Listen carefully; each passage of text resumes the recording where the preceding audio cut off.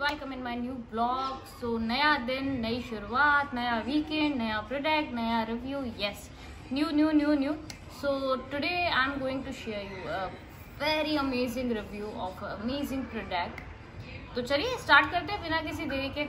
होला स्क्वालन तो आप लोग सोच रहे होंगे what is Hola and what is squalane तो ये वो प्रोडक्ट है जिसके बारे में मैं आपको बताने वाली हूँ. तो दिस इज़ द वन देखिए, सबसे पहले आप इसे अच्छे से देख लीजिए. तो पिलग्रिम एक ब्रांड है जो मेरा अभी यू नो करंट फेवरेट चल रहा है। क्यों? और ये प्रोडक्ट्स बनाता है। तो इसके जो प्रोडक्ट्स हैं ना basically for the Indian skin के लिए हैं। क्योंकि उनका कैसे होता है, बहुत अच्छे अच्छे प्रोडक्ट्स होते हैं बट वो इंटरनेशनल ब्रांड्स होते हैं। तो उनके स्किन के टेक्सचर से बनते हैं तो पिलग्रिम ना इंडियन प्रोडक्ट है तो ये सबसे पहले तो इंडियन स्किन के हिसाब से अपने प्रोडक्ट्स बनाता है। इसलिए ये प्रोडक्ट्स हर किसी को सूट होंगे। कई बार कैसे होता है, कुछ प्रोडक्ट्स हम लेते हैं and there something like you know suit नहीं कर रहा, या एलर्जी हो गई रिएक्शन हो गया, वैसा पिलग्रिम के किसी भी प्रोडक्ट में नहीं है फ़र्स्ट थिंग सेकेंडली आज जो मैं प्रोडक्ट लेके आई हूँ, वो है स्क्वालन ग्लो क्रीम सीरम तो व्हाट इज़ स्क्वालन स्क्वालन क्या होता है? वो मैं आज आपको बताऊँगी। स्क्वालन स्पेनिश के जो ऑलिव है, उनसे बनता है। एक सीबम होता है जो हमारे स्किन में होता है। उस सीबम हमारे नेल्स हमारी स्किन हमारे हेयर्स के लिए बहुत अच्छा होता है।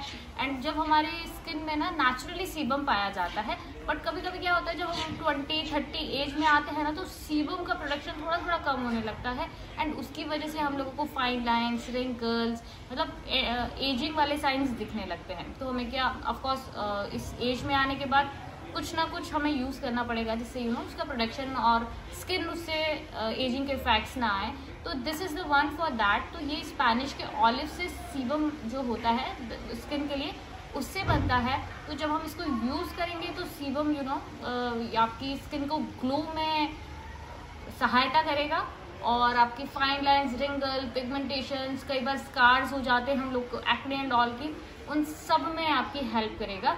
देखिए, यहाँ पर लिखा हुआ है this is brighten skin hydrates and nourish and acne scars and pigmentation yes and another thing is this is hundred percent vegan and dermatologist tested no sulphate no paraben suitable for all skin type अगर आपकी oily skin है या फिर dry skin है combination skin है and this is also suitable for man and women both तो हर कोई इसे यूज़ कर सकता है एंड द बेस्ट प्रोडक्ट है। अब इसे यूज़ कैसे करते हैं, वो मैं आपको बताती हूँ।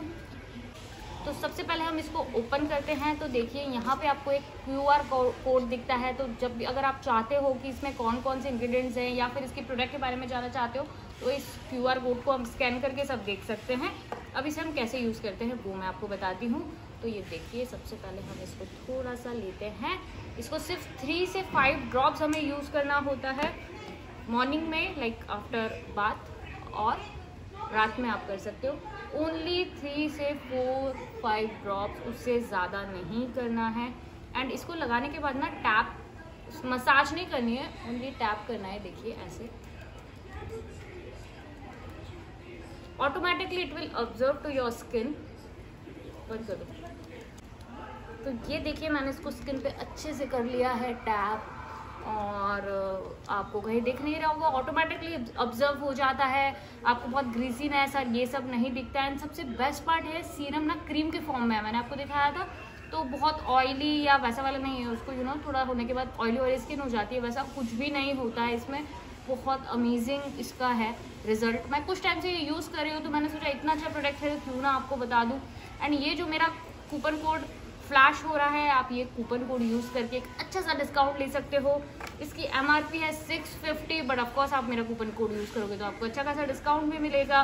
एंड मैं सेवन डेज़ आप सिर्फ़ इसको यूज़ कीजिए and automatically you will get a you know good result with your skin like you know automatically आपको समझ में आएगा कि ये इसके सबके क्या, इसके क्या रिज़ल्ट हैं। Which I am talking about तो वेट मत कीजिए। नीचे डिस्क्रिप्शन बॉक्स में इसका लिंक है, जाके खरीदिए with this coupon code and thanks me later और कमेंट में ज़रूर बताइए आपको ये कैसा लगा। चलिए फिर मिलते हैं एक नए ब्लॉग के साथ। तब तक अपना ध्यान रखिए। फिर मुलाकात होगी। बाय